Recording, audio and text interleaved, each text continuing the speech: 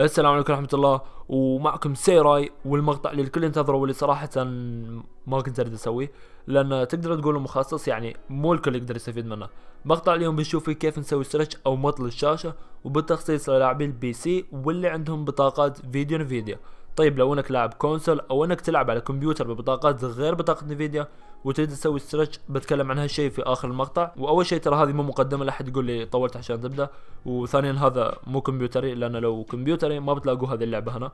آه المهم آه إيش هي فائده ال stretch أو شو هو من الأساس؟ ال stretch يعني مط الشاشة يعني الشاشه اللي تلعب فيها فورتنايت تصير أعرض كأنها تنمط باختصار.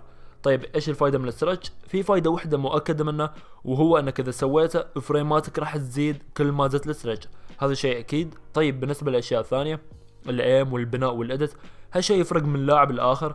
مط الشاشة ما بيخليك لعيب ابدا انسى هالشيء بس ممكن يساعدك. في ناس بالشكل الطبيعي ما يناسبهم حجم شاشة فورتنايت طبيعية ويحسوا إن مط الشاشة يناسبهم أكثر ويحسن من aim هم وغيره. بس حط في بالك إن ال stretch بيخرب شكل اللعبة.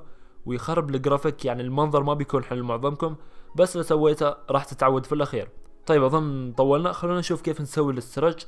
رقم واحد وأول شيء روح للبحث اللي في الزاوية اليسار تحت واكتب نسبة مئوية app data نسبة مئوية.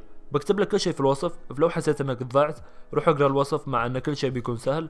بيطلع لك هذا الملف وبعدها على طول اضغط على app data هنا عشان يوديك للملف الرئيسي وبعدها اختار local وبتطلع لك البرامج اللي عندك وأريدك تدور على فورتنايت game بتلاقيها مع حرف ال F روح لملف saved الوحيد وبعدها على طول روح على config وفي الأخير ويندوز client أو نسخة ويندوز هنا عاد أنت واعداداتك. يا اما بتطلع لك ملفات كثير أو ملف واحد. المهم لازم تلاقي هذا اللي هو game user settings اضغط click يمين واختار edit أو تعديل. آه okay لا, لا تخافوا كله سهل كله واضح. انزل شوي شوي ودور على المكان اللي فيه طول الشاشة وعرض الشاشة.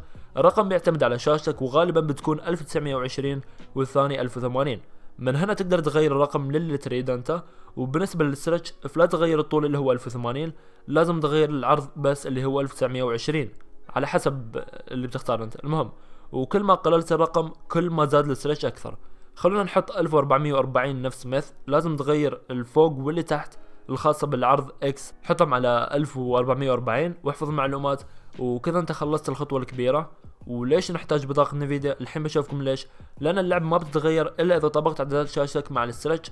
فروح لسطح المكتب واضغط click يمين واختار نفيديا control panel ولا شيء كذا. أول ما تفتح القائمة تأكد إنك على change resolution وعلى طول اضغط على customize اللي هي تعديل. اضغط على create custom resolution وسوي نفس الشيء اللي هي 1440 في 1080 اللي سويناها من قبل. وأكد ومبروك عليك خلصنا. ترى العملية مرة سهلة بس يمكن لأن أول مرة تسويها بتتلخبط. المهم أكد على كل شيء وبيطلع لك رسالة الجديد واختاره.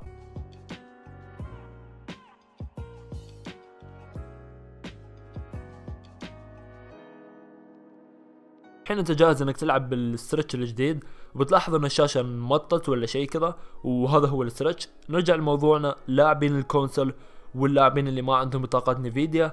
لاعبين السوني وعن طريق البلاي ستيشن مستحيل حرفيا إنك تسوي stretch أو مط الشاشة لأن هالشيء مو ممكن.